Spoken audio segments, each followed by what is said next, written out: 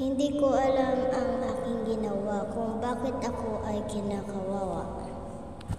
Pakiramdam ko ay hindi ako kabilang sa mundong ako ay sinira.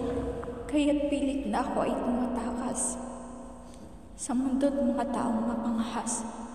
Isip at puso ko'y pagod na sa karirinig, ni ayaw pakinggan. Mga matutulis na salita na nanggagaling sa bawat dila. Ay tila hindi naiintindihan. Pagkos lumalala at hindi iniiwasan. Kaya't mas mabuti pa siguro mawala ang buhay kong ito. Tumalon sa mataas na gusali at tumama sa isang tipak ng bato. Gusto ko lunurin ako ng kanan upang ako'y hindi na muling makaahon. Dahil pakiramdam ko hindi ako tao na kailangan ng totoong respeto.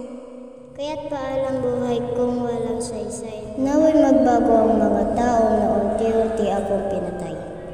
Upang hindi na muling mapahiya at masaktan ang puso kong sinugatan at duguan. Ako'y lilisan na dahil pagod na ako titignan kung ang panghuhusgay may pagbabago sa mundo. Anak, huwag kang mapagod dahil ika'y muling aking isusugod. Sa lahat ng mga taong nahangad ko'y magbago, ako ang iyong magiging superhero.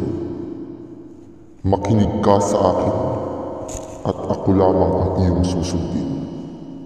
Pahintulutan mo akong bigyan kita ng lakas at tulad ng isang gusali, muli kitang itataas.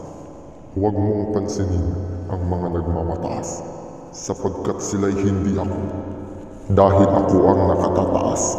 Gaya ng isang alon, ika'y aking muli iaahon. Mga matutulis na salita ay iyong ibabaon dahil ikaw ay babaguhin ko ngayon. Kaya't ika'y pumunta na sa mga tao't harapin sila. Dala ang aking mga salita at simulan ang pagbabago sa mga buhay nila.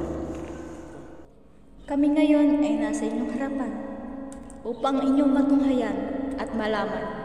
Na ang Diyos ay totoo at tunay. Siya ang magdadala sa inyo ng buhay. Kung kayo ay tatalikod at magbabago sa mga panghuhusgang sa pangkapwa ginawa ninyo.